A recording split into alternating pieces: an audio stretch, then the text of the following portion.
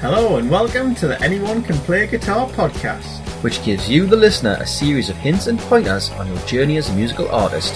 providing you with interviews from those in the music industry, along with our own experiences. Ben and James shine some light on the many pitfalls and opportunities that being a musician has to offer. Last week we spoke to comedian, musician, and actor Nick Helm, where we covered songwriting for TV shows, cramming detail into short songs, and how to start the songwriting process. This week, Ben is up in Edinburgh speaking to Mike Livesley, aka Made by Mike, about his fascination with guitar pedals, building them, and why musicians want to use them. Welcome to episode 18 with me, James, and him. Ben, where are we this week, James? Or where am I this week? Where are you? You are in Edinburgh. Yeah, on Rose Street. At the Milnes. Was it pub. windy? It wasn't windy this time. Well, it might have been outside, but we're indoors this time. We found a nice downstairs bar which had minimal patrons until some ladies who were shopping sh- who came in after their shopping. But so it is worth mentioning. There's a little bit of background noise, but I wouldn't say it's um, as distracting as the wind. You wouldn't. Of course, I wouldn't.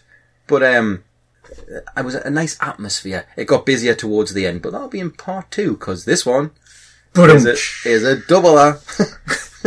you love your doubles. everyone loves a double. So, who were with who were we talking to this week, James? We're with Mikey Pedals. Mikey Pedals, Made by Mike. Yes. So there's a bit of a backstory to this, isn't there? So Mike There is. got in touch on Twitter after listening to the Ross Millard episode. He Yes. built a pedal for Ross. Got in touch, said how much you like the podcast, like to do an episode. It was originally going to be via. Well, I, I suggested to him. Um, he was just getting in. Well, he, he wasn't so much getting in touch as opposed to just tweeting saying, "Listening for the to the shout show, out. Ah, thanks for the Ah, yeah, uh, that's thanks right, for the shout out, Ross." You know, really grateful type thing. Mm-hmm. And I thought, hold the phone. if there's one thing Ben wish he had known back in the day, would have been how to buy pedals more effectively. If there's one thing I wish Ben had known back in the day, it would have been how to uh, buy pedals effectively. Mm-hmm. Well, not just buy them, use them, operate them. Don't get me wrong. In fairness, eventually you, you, you got the hang of these things. yeah. But there was a lot of noise my ears had to. Uh, A lot of ambience at one point. I'm not sure ambience is the word I'd choose. Okay, I can agree with that. so yes, so if you haven't guessed by now, we're in Edinburgh talking to Made by Mike Pedals about guitar pedals. That's not his actual name. No, should it's not. Yeah, we should caveat that. But that's his brand. Uh, yeah, that's his brand, yes, and we'll put details in the show notes for all that sort of stuff later. Well, I'm sure we'll mention that later as well. But yes, this is an interesting conversation, whether you're a guitarist or not, about pedals and the things they can do. You might think, oh, pedals. I, I don't know, Ben. I think most people who are in bands or musicians probably go, ooh, pedals. Yeah, yeah, yeah, possibly. If you talk to random Joe on the street, they're probably, what, what, what? But I, I think in general, I, they're, they're so, well, fundamental to a lot of acts. Mm, you know, And we talk about bands that don't use them as well. It's yeah, not which is equally valid. It's not like you need guitar pedals. It's not a necessity. However, they are used en masse by many an artist. They can And beef up your sound. Therefore, warrant a bit of discussion. They do.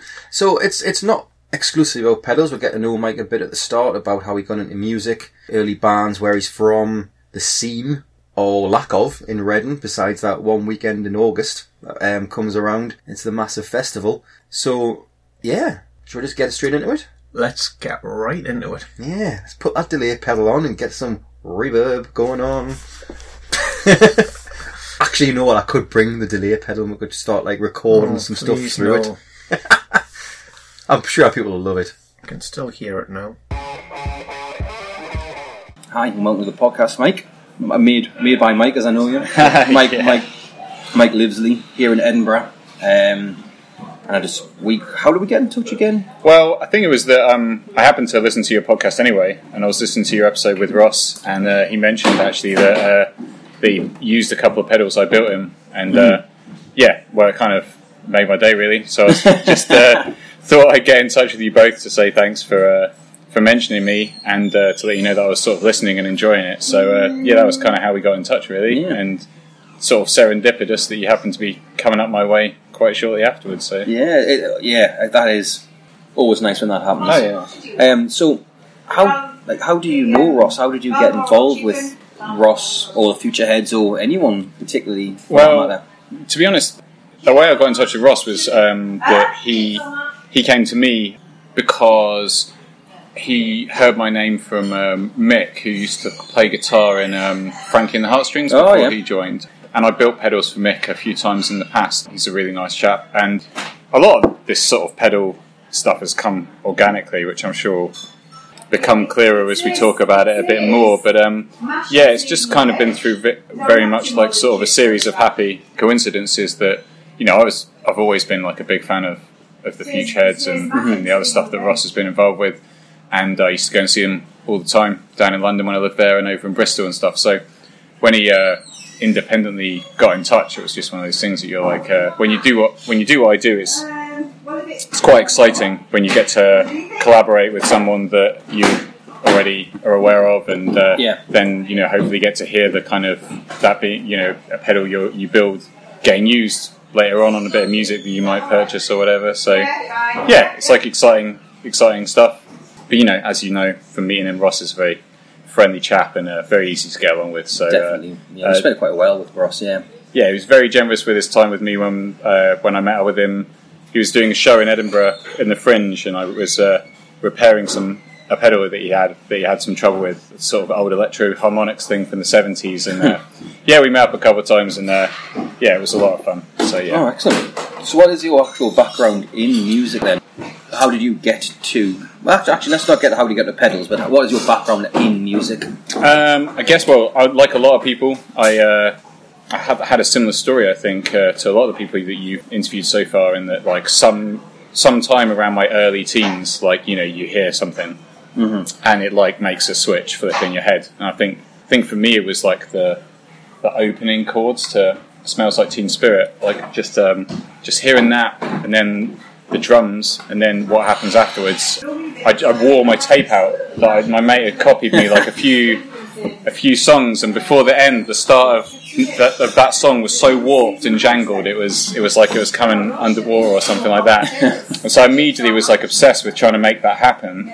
So yeah, I got. I remember, I remember trying to play. Like uh, my dad had like an old nylon string acoustic guitar, and I knew that something was wrong because it was it was never going to sound the same. And you know, I was like 11 at the time or something like that. And uh, you know, my dad had like a my dad and his brother both used to play guitars. My dad used to be a DJ, and so he was quite sort of excited about me getting into music, and quickly told me that I needed an electric guitar. and so when I kind of was still wanting it, after a period of time, that's when I first kind of got me the kind of Squier Stratocaster, which Classic. I yeah yeah got it got it in red.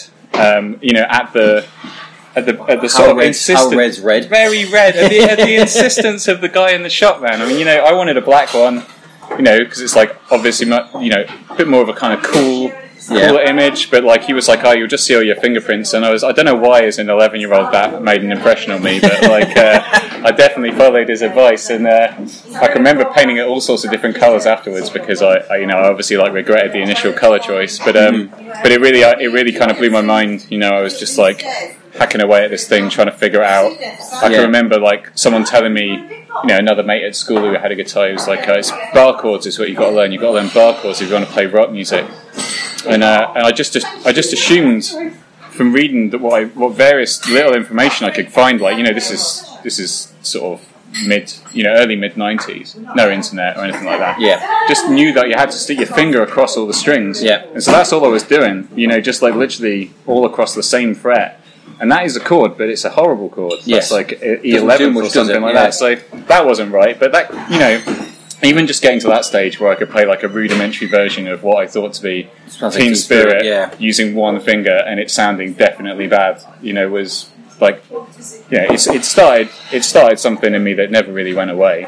I, I totally know what you mean because when you first start learning, I'm sure people listening to this will probably hear themselves in it, but if you don't go through that bit where you sound rotten, Yeah, yeah. and when you pick it up, it, it, it, it- that little spark that goes off in your fingers and you feel it working, and It is. It's something that it's hard to describe unless you've done it. all So, those yeah. early days of like uh, of you know even playing an electric being like painful you know having to Yeah. get through the the sort of you know quite rudimentary calluses you have to Yeah. build up to play the guitar it's nothing compared to what some people do you know with, on a daily basis using their hands but like uh, you know I remember it being a real a, a real barrier and then you kind of wear that with pride where you're like you know I can play an F now like a, like a proper F A proper know? F, yeah. it's a big deal you know Gone Full are the days of yeah, gone are the days of skipping past every song that had that chord in it. Just being like, no, I'm not doing that yet. Yeah, like, it's- we'll it come back to it's that. got an minor in it. I'll play that one. Yeah, yeah, all of that. yeah. So, um, were you in bands and stuff, or Oh yeah, I mean, so like a few, a few of my mates were all getting bang into music around the same sort of time, and you know, I was born in '81, and so you know, we were quite sort of fortunate. I think. I mean, everyone's got their scene they coincide with. Mm-hmm. But for us, it was you know like the kind of early stages of grunge, and then moving on to that, you know, from over in the states, and various pretenders over here. But then you know when Britpop and everything exploded, and Oasis and Blur and stuff, like it was just it just felt so doable, you know, in, in a similar way to like punk did, I guess, in the in the mm-hmm. seventies. Like people were just getting up and doing it, and so there were loads of bands around by me, and quickly. You know, my mate and his brother started playing music together. You know, Pete used to play guitar, and, and John was like a great, like a very instinctively good drummer. You know, like mm-hmm. often the first people you end up forming bands with, sometimes the drums can be the weak link because it's a hell of an instrument to learn. Yeah. And no one wants to do it. no?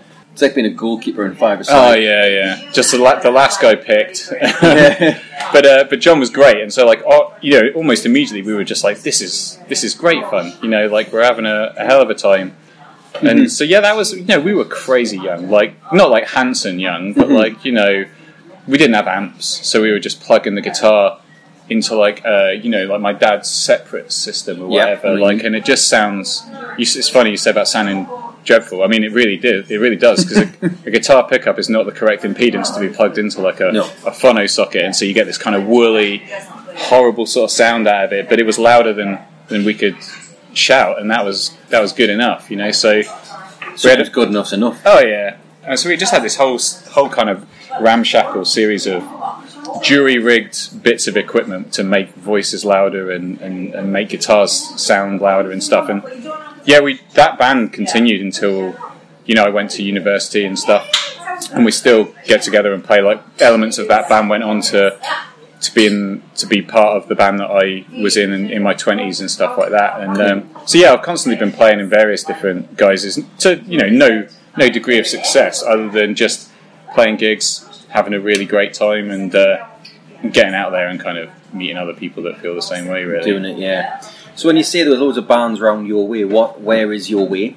So I grew up uh, around Reading, just outside Okay. of London. There, Yeah. so it's like it's one of these towns that I think I think people are people are flocking to live in Reading maybe now, but like uh, London is is sprawling so far that you know even thirty miles outside of it is kind of considered the same thing. But at the time, it's definitely not a great place to grow up. But you know, uh, it had the festival. You know, every Yeah. every summer, so we immediately had like kind of ac- access to to some to watching great bands come through. You know, like Nirvana played there uh, twice, like in the early '90s, and you know there were like people like the Pumpkins and Hole coming across from the states. So every summer we'd all be at Reading.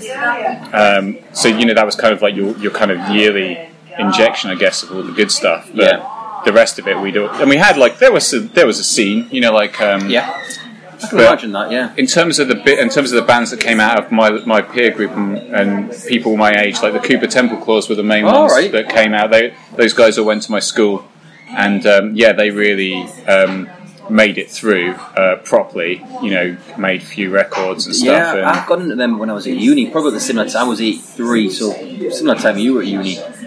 And I bought the album and liked it, but it wasn't until about 10 years later when I re re listened to it. I was like, actually, Yeah. this is. I re refound it. I, I, sometimes I think music finds you at the right age.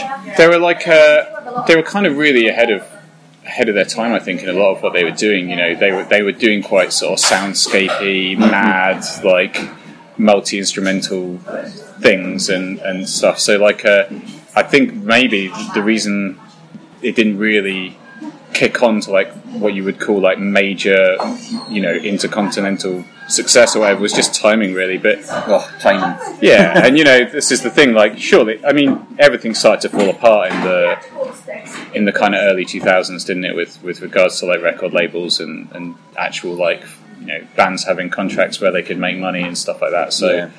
um, yeah, I think they were just kind of victims to that somewhat. But um, yeah, they were great, and uh, yeah, there were there were bands coming out, and there was enough there was enough of us that felt the same way to be out there playing gigs and stuff. But um, you know, to go and to go and get into the into the scene proper, you'd be you'd be going into London, you'd be getting the train and stuff like that. And did, was that something that you did, or was it is London? It's, it's, it's saturated, isn't it? London can be some nights. It was one of those things that, like, at the time, we were still at the time where you could go to the you could go to Camden, and you, you knew that you, from the NME and the Melody Maker or whatever, you knew that there were a couple of pubs that a lot of the main the main guys like were drinking and stuff. So there would be like little pilgrimages to like the Good Mixer and the Dublin Castle and Dublin stuff like Castle, that. aye. Yeah, so you'd be going to see maybe not. You wouldn't be going to see like a, a nascent like Libertines or whatever. You'd be, but you'd be seeing you'd be seeing something or other going on. And so yeah, we did we did go out there a lot and uh, and see and see music, and you know that was. It was it was the main place you went. I mean, you know, most people that live in Reading and around that area, like getting getting that train into town is is just part of growing up. You, you get to the age where your parents let you do it, and that's kind of all you want to do, really. But um, yeah, I went to university down in Southampton, which is more of a kind, which had you know it, it's independent venues and Yeah. you could see a lot of live music. And the uni actually, there was lots of good stuff on at the Union when I was there. I was quite lucky to catch when it came through. So yeah, you know, you find it where you find it where you can. You know, I'm sure a lot of people maybe grow up in places where there isn't like a great scene that binds everyone together. But I think these days, more than anything, you can kind of can kind of make that yourself Yeah. by finding these people. I think you can, yeah. I think Ross talks about that a lot about when they had people of similar um, similar mindsets around the bunker and all that sort of stuff. So yeah, I think you're right. These kind of pockets of um, creativity, I guess you could call it. So there you are in your bands in Reading. What was your first introduction to pedals? I know you said that when you were playing Smells Like Teen Spirits, it didn't sound right. Yeah, yeah. Did you just go out and buy pedals, or did you borrow pedals, Um, or I remember- just take a punt? Well, I remember like I had a I had a I had a guitar teacher for a short while who was trying to teach me Gary licks, and all of that wasn't really wasn't really connecting with me, and it was it was pretty it was pretty tough. Um, you know, I'd, I'd be taking him songs I wanted to learn, and it was very much like off piste from what he uh, what he was felt comfortable with. But he did send me home with. Uh, my, the, my first kind of interaction with the guitar effects pedal, and it was like the Boss HM2 heavy metal pedal, which which is one of these pedals that does sound quite quite dreadful, but actually has like a real kind of cult following now. Like a, Okay. a band called Swervedriver used them, and they're, they're really big in like the sort of Swedish doom metal Right, scene. yeah. So, but at the time, you know, it was that thing. It was like I know what I want to sound like. You know, I wanted to have that kind of that kind of big raucous, whatever grunge kind of guitar sound, and that wasn't it. Um, but it, it got it got me to realizing that maybe that was that might you know that was what I needed to sort of do, and so I had an amp, and it, it, it was you know that was where I was getting my clean sound from. But yeah, so that's what I was kind of pursuing from an early point in time. But back in the day, you know, you'd just be going, you go to a records, you go to a music store, Yeah. and you know, they're they're quite kind of uh, intimidating atmos- environment sometimes, but sometimes you can find a good one, and there were a couple of nice ones in in Reading actually, where the guys were quite like laid back and stuff, and about you trying things out. And so I think it was there that maybe I started thinking, you know, like what are these strange, these strange like coloured boxes and stuff, and like what are they all about? And um, I remember at the time mail order was that was how you got hold of them. Like if you wanted to get them cheap, you know, I remember that in the guitarist magazines, you know, there'd just be these printouts of uh, all the inventory and stuff. And Flying Pig Music Company, I remember that sticking in my head because you know you'd you'd be on the phone to them, you know, asking whether they had any like Boss DS ones or whatever, and they'd be like, "No, no, we're all sold out," and that would be it. You'd have to wait two weeks and call them up again to see when they were going to have them in again. So that that kind of kindled something in me, you know. But um, I'd always been kind of I'm an engineer, so I'd always been kind of taking stuff apart and most, you know, initially breaking it, but because I didn't know what I was doing. But trying to figure out how things work. So that first Fender, that first Squier Strat, like that, you know, I had that thing open. Like the first time I broke more than two strings on it, I think I had all the screws off and I was looking under the scratch plate because I wanted to know what the pickups were connected to and like what it was all about. And so it just kind of was like a natural progression from that, really. I think I remember my dad helping me because he could solder and stuff, so he taught me taught me all that. I needed to learn to solder because I ended up, you know, breaking breaking bits and bobs. Like stuff gets worn out when you use it all the time. And so when we were fixing the guitar, he showed me how to solder. And from that point onwards, I was like, right. So what's this? What's this pedal stuff all about? Like, can you make a pedal? Like, can I do it? And I remember we made a, we tried to make a fuzz pedal.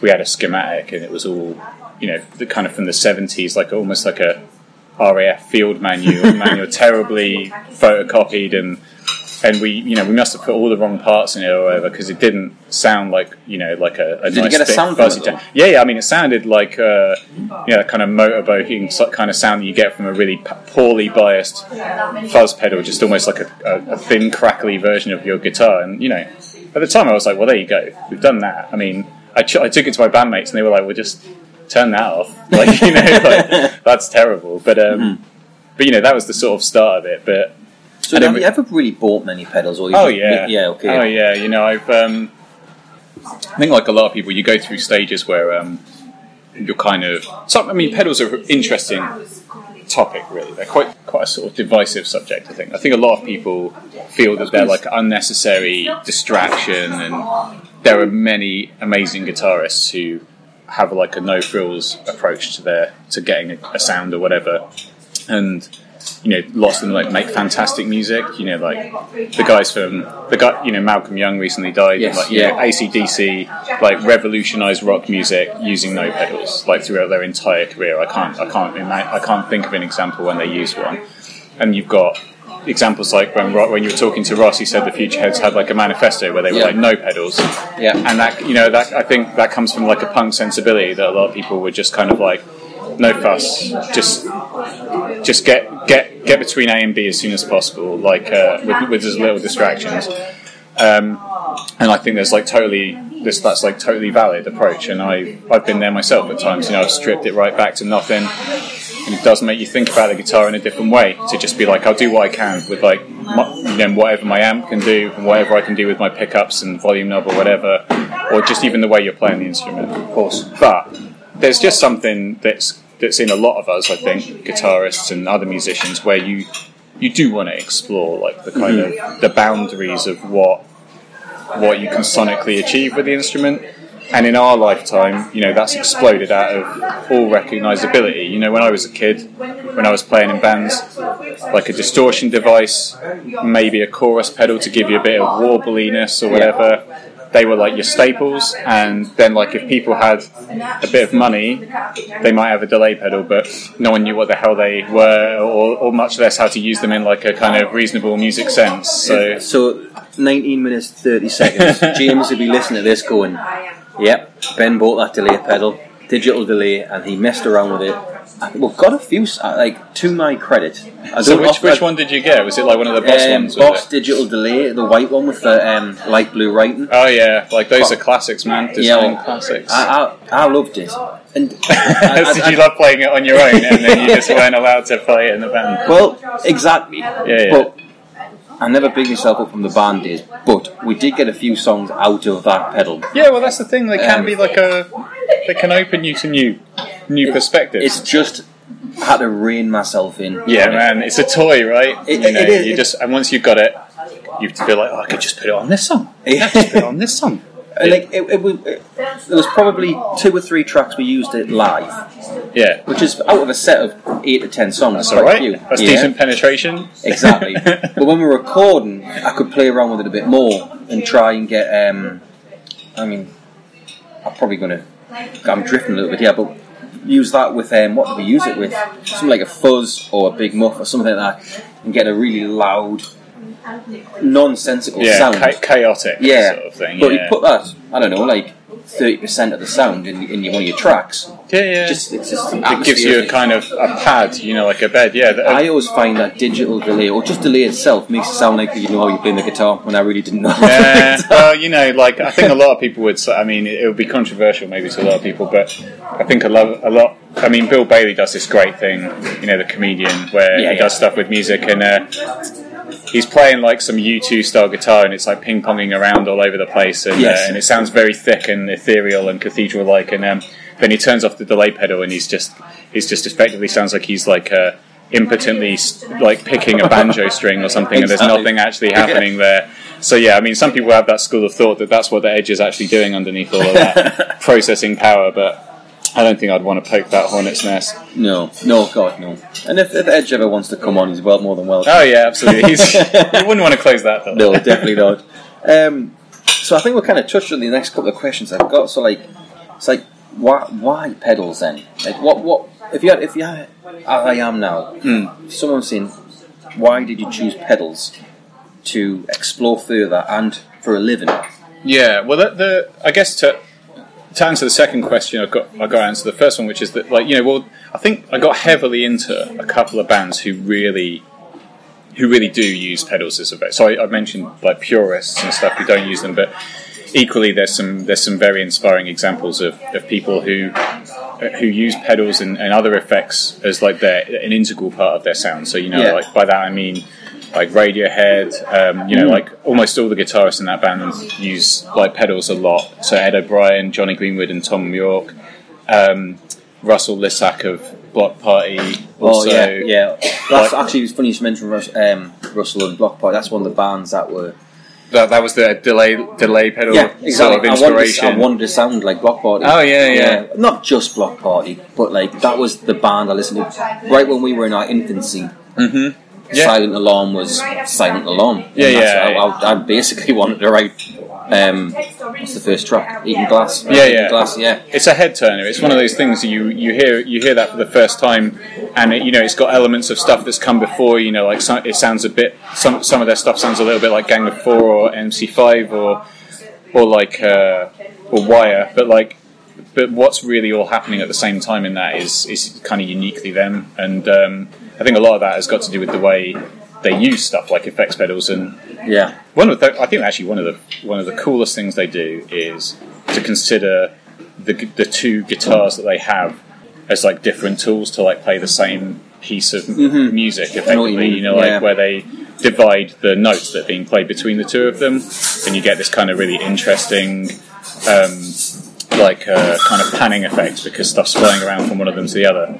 But yeah, so people like him and Tom Morello Oh, from Rage oh, Against yeah. the Machine. Um, so these guys, you know, like um, you get super into them, uh, listening to them, and and, it, and a lot of us want to kind of try and figure out what's going on and, and, and recreate those sounds, even if you're just um, if you're just wanting to kind of muck around at home or cover their songs, or you might want to build the same sort of ideas into yours. So that that was kind of what bit, bit me in like a big way. So um, yeah, when I was playing in the bands, I, I was I was like the one with the effects pedals, you know, like uh, and you know the board grew and shrank or whatever. Yeah. And I had my moments where I was over the top with it, and they're causing like you know mid gig disasters where I tread on the wrong thing, or I had this I, yeah. I had this thing. a tuner or something like oh, I had this terrible experience with this the DD20, which is like a Boss.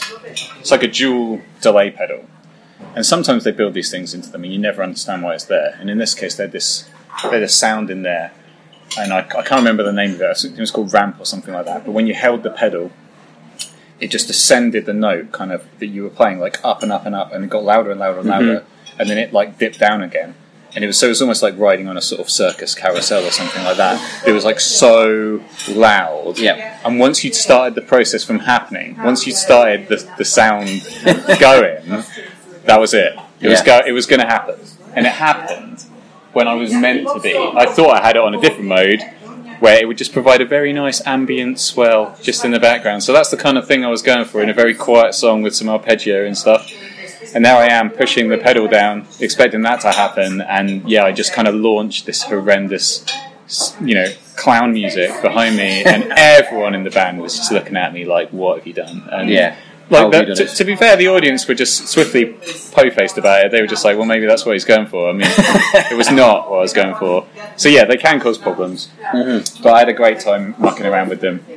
And in terms of how I got into it, like um, building them, so I around kind of you know the mid two thousands, you know when the when the internet started to kind of really take on a meaning for or you know use kind of for guitarists in a lot of ways. You know, like the precursor to all this. Um, so social media now was like the the rise of discussion forums and stuff like that. So Yeah. there was um, there was one in particular which was like um, dedicated to like oddball Fender guitars, like short scale Fender guitars, like you know the Mustang and the Jaguar and stuff like that. Which Mm-hmm. Yeah, that. which now are like really really popular again. Yeah. But at the time, they weren't at all. Like uh, you, you could only really get hold of these reissues from Japan, and they were um, they at one point they they were only made in Japan, and you had to get them imported. You had to go onto this Yeah. like Japanese website, and it was all and you know there was no Google Translate, so you're effectively just like giving them your credit card details over email, and you're just like, please send me a Mustang type thing.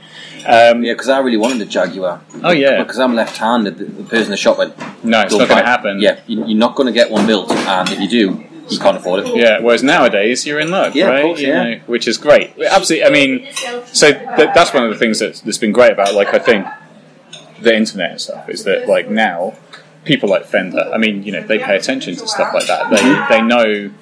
The, they know the kind of instruments that we can't buy anymore that we're enthusiastic about buying, and I'm sure, you know, from a cynical perspective, as far as they're concerned, they're like, these guys want to buy instruments from us, so let's make some money. But like, uh, but for everyone else, like, gives you access, like we didn't have it before, you know. So from from talking to these guys about that, um, I made a lot of friends, uh, you know, here in the UK and like all over the world. And when it came to me starting my own little uh, foray into making pedals, once I was at university and I was studying electronics there, they they were like my initial kind of people that were interested in me doing that. So you know, I, that Made by Mike as the name for my company comes not because you know I'm. I mean, that is not an amazingly unique like name to come up with, but it was. Uh, it was literally just came out of the, the fact that you know I was equally uninspired with my name on that forum. I was just Mike.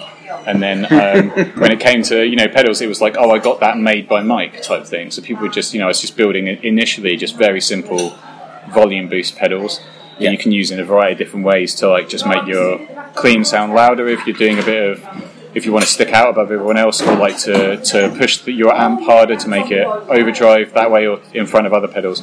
So like that was my first kind of foray just very simple. Just make the signal louder pedals. But you know as with a lot of things start small like um, and then just go with it from there. So i ended up at the time so this is all this is all kind of you know mid 2000s late 2000s now and I was making demos on YouTube at the time. That was another thing that was kind of cropping up out of like everyone's everyone kind of having access to the internet and um, chatting about stuff. So there's this huge kind of discourse going on about pedals and everyone's like wanting to buy them and everyone can suddenly get online and you know get hold of this stuff which is maybe vintage. Like stuff's coming up on ebay right? Like you know old fuzz pedals or old delay pedals and tape echoes. And everyone's like I, you know i want I, I want that thing because you know this guy played it on that record and i'd love to make that sound. But what does it really sound like? And so you get this kind of series of videos that people start making where they just they've got this they've got this gear and they just kind of uh, lots of them are just in their bedroom and they've got like a recording set up um, for making demos for bands and stuff and they just start recording demos of, of video of, of guitars and uh, pedals and, and amplifiers and stuff. So I kind of got quite into that. And that was kind of where I think a lot of people found me you know when I was building pedals because I would demo pedals I built myself as well I'd be like oh you know I built this green muff, green green uh, Electro-Harmonix big muff pedal, which he now now is like reissued widely, but at the time was a bit of an oddity. And you know the circuit diagram was out there, so I was like, I'll build that, see what it sounds like. Okay. And then I was just we'd like make a demo of it, and that was kind of how it kind of carried on. And that's I think still how some people find me, because they find my videos and stuff online, and they're like, oh, there's the guy that his his weight has oscillated in years, and uh, he's got various facial hair stages in his life, and he can't really play the instrument. But but yeah, that was kind of that was kind of how I got myself out there, and um, so it was a nice kind of thing. It was quite an organic experience being Okay. in touch with customers. Well, customers like I don't really like to call them that. I just let's call them like other guitarists or whatever, like people Fellow enthusiasts. Yeah, you know, people that that want to make music and stuff. And I, the thing I the thing I'm not doing is trying to like you know make a lot of money. You know, I don't I don't price my pedals very high. I don't make large runs of of designs, and I, I don't have any relationships with any shops or anything like that. I'm just like a cottage industry, just like one guy building pedals in my spare time and um, and you know dealing with people on a one by one basis. So when you when you buy one of my pedals, if you're not buying a second hand, like you know I'm the person who's who you're emailing about it and discussing like what you might want to have and, and stuff like that. But yeah. It was a bit of a breeding ground that, that forum. You know, I don't know whether you've heard of uh, Dwarfcraft Devices from over in Eau Claire, Wisconsin. No, no. And well, they do they do amazing stuff, like really on the wild end of, of effects pedals. Um, and they have a, they have fantastic like you know roster of people that use their pedals. You know, like Bon Iver and Nine Inch, uh, My Bloody Valentine. Uh, Nine Inch Nails, people like that, and um, Right. and, and over here in, in the UK, there's a guy called Tim from the same forum who started Fredric Effects, and they're down in in London, and they again have made pedals for people like Future of the Left and um, My Bloody Valentine again. I mean, that guy they, they like pedals, so they're customers of a lot of people. Uh, but yeah, so it's a funny thing. It's like a sort of there's like another community of, of builders and stuff that's kind of sprung up. That's cool.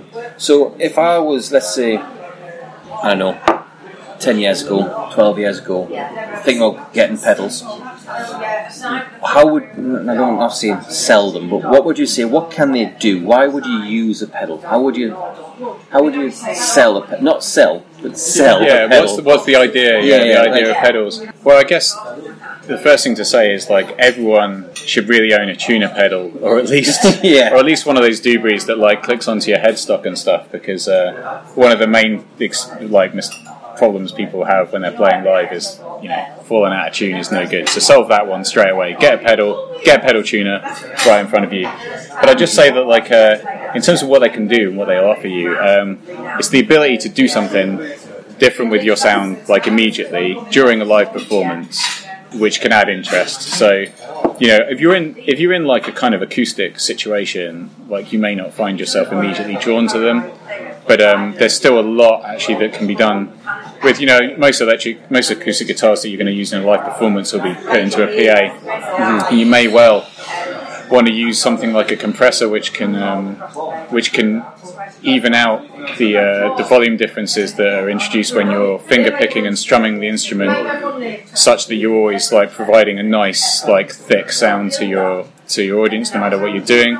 And uh, and you know a lot of people also like to use a bit of reverb um, when they're doing acoustic stuff, but um, to provide like ambience and stuff. I'll stop you there. 30, 34, 30. The person that we used to do recording with, Kev, who will listen to this, he loved reverb. can, it can be a killer, man. And he's, he's not a guitarist. He, he's I would say, if anything, he was all Brian Eno. Oh yeah, yeah. Well, you know, He you, put- know, likes know, likes ambience. He did, and he put Kev put re- Kev. If you're listening, You put re- reverb on everything. And to be honest, it, once but once you hear like what he did with it, you can you get it. I think that it, I think it's it's a useful thing. You you kind of almost you've almost got to do it.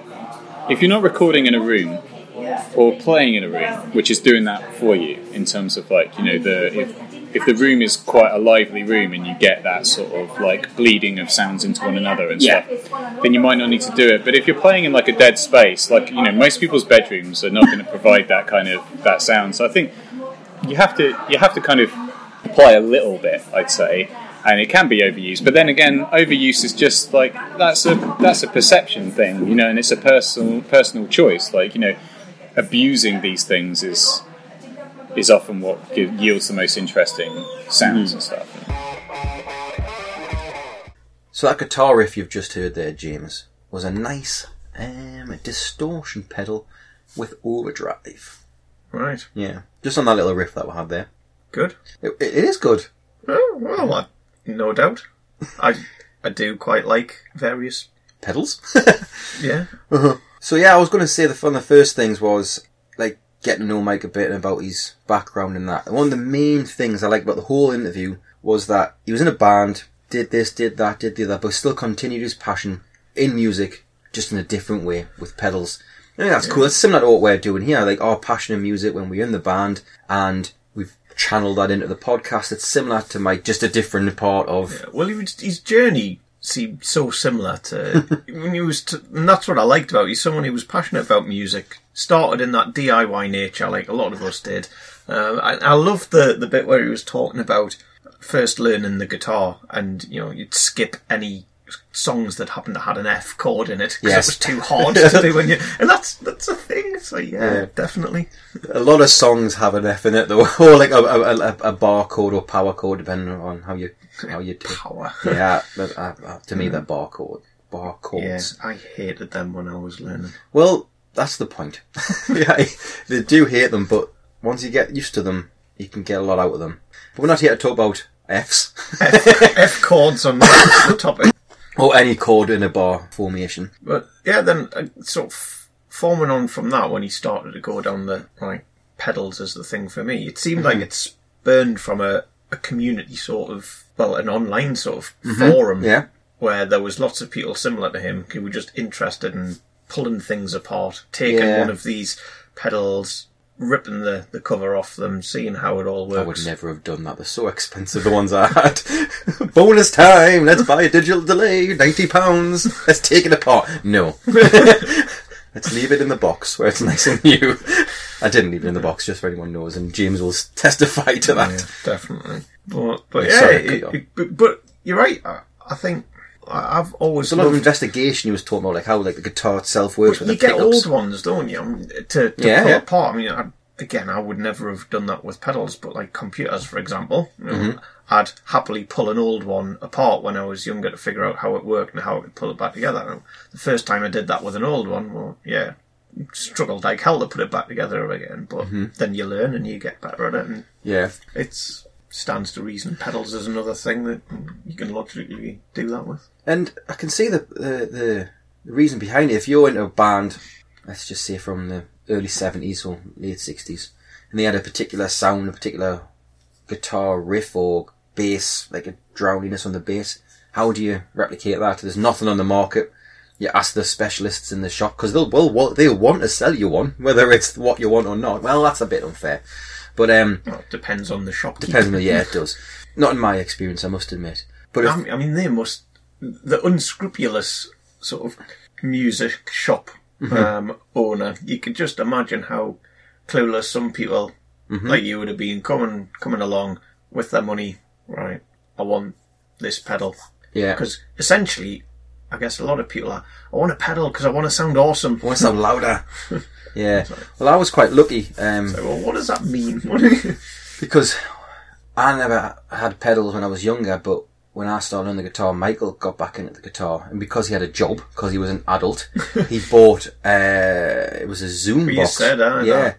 So I just stole that from him. It was was not technically stealing, but I stole that from him and just went, wait, what's this one? Flange. Oh, that sounds good. Let's write a song in that. Didn't work. What's this one? Overdrive. Oh, that's better. It's beefy. It's loud. Then you would get on some ones and other ones and go, that's not for me. But then it's hard to use that live because you can't really change to another pedal. You can't really. Like- Uh, it had 99 Limitations. settings, but multifunctionality was not one of yeah. Um, so it, it, but it did serve the purpose of finding out what kind of thing you want. And if you, if you strip away seventy five of them, eighty of them, you don't like a lot of them are similar. You, I didn't need them because they weren't what I was looking for. So then when I went back into the guitar shop and I did have a, a job of my own, I can say this is what the sound I'm looking for. I think I want a chorus pedal. That's what I originally went in for. And he said, "Do you want to sound like an eighties rock band?" I went, "No." He went, well, that's what you're going to get. I said, "What do you want to sound?" He said, "What do you want to sound like?" I went, So why did you get to the point of having used was it chorus on that Zoom box? Then? Um, it must have been. Or it was in my head somewhere that this is the pedal that I need to make my sound beefier. Right, so you'd made a noise on this Zoom box and Yeah. thought that's what I want. Yeah, and technically the chorus pedal would have done that for us. But it's not what I would have wanted because he said, you really, for what you're looking at, you're looking at your indie, rock, alternative, if you want an overdrive or even a distortion. So I went with the distortion originally because it was the cheapest pedal, had an offer £39. and it was good and did do everything I wanted, but you lost a lot of the tone on it because it's louder and it's fuzzier. And it, I like it for some songs, but if you want to get a bit of melody out of it, you need to get something a bit neater. Yeah, I remember. And that's when the on- overdrive came in. The, the the yellow pedal. That was the orange pedal. This is the yellow one. Right, you used that orange one all the time. That That's how I remember. Mm-hmm. I, well, I used the, the overdrive. Dist- well, the overdrive was an overdrive distortion one, so it had kind of a combi on it, and that one was better for some of our songs. A lot of the songs, it was had a more of a indie punk feel to it, so I used that mm. more. But I did like to use the orange one live because it was just loud. Yeah. But like I say, you lose a you're little just bit, trying to drown me out. a little bit. And Rob when he drops sticks and stuff like that. But never Simon. There's the Simon Weekly mention that he likes. Yeah, so anyway, getting back to the conversation that we had. So, like, a lot of investigating that he had, and I think it kind of matches what I did, but he went to the extreme a bit more, as in, how can I build these? How can I get these unique sounds? How can I get these sounds that have been lost? And I just investigated so I didn't waste my money. Um, yeah. Well, he went to the point which, again, you'll have got to a little bit later on. Certainly, initially, Mike was at the point of, right, well, if I'm going to use a particular pedal on a particular song, I'm going to do that because I'm actually going to know why. So, what does reverb actually do Yeah. technically? What does it do to the the sound? Sound, yeah. um, and why would that be a good or a bad thing? Um, and knowing some of the science behind it can help inform why the hell you'd go about doing that. I mean, he- gave quite a, a far better explanation of reverb and why you would actually want to, to do it, um, and sort of how you'd go about filling a space and, and, and all that sort of stuff. And and again, I, uh, eventually, once we'd spoken to more people and got a better understanding, then you start to sort of pick up on some of the logic behind. Right, it's not just something will cool make sound, something yeah. louder, for example. There's Mm. all these other reasons why you'd potentially apply an effect of some kind to Mm-hmm.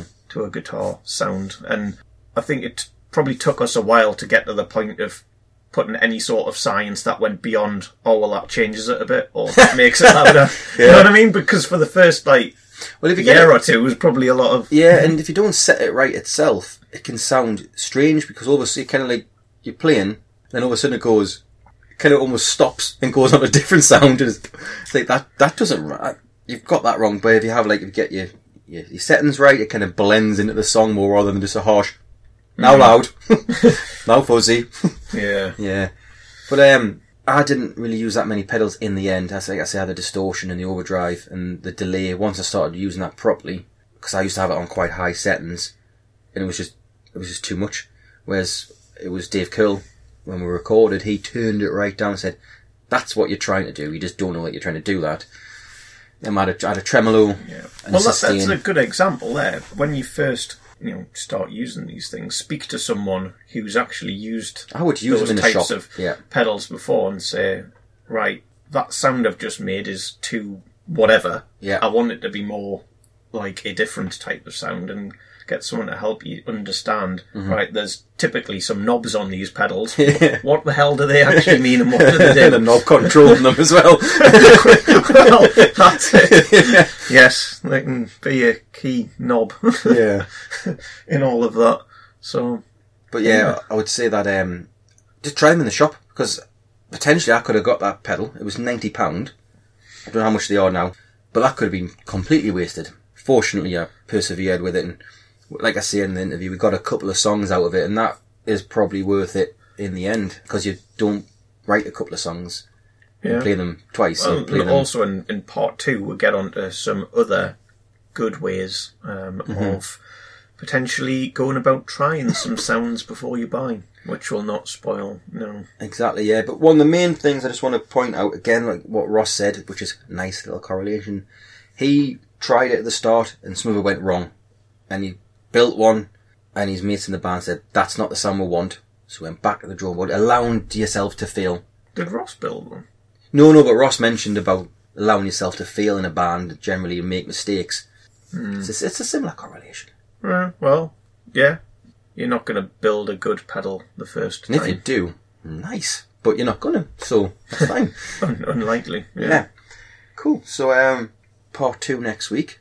Getting a bit more detail. We'll cover the second part of the conversation. We'll get into a bit more detail about like different bands and different sounds. I don't want a bloody nuts and bolts conversation again. There's no nuts or bolts. Well, there might have been I any. bet there I bet there is actually.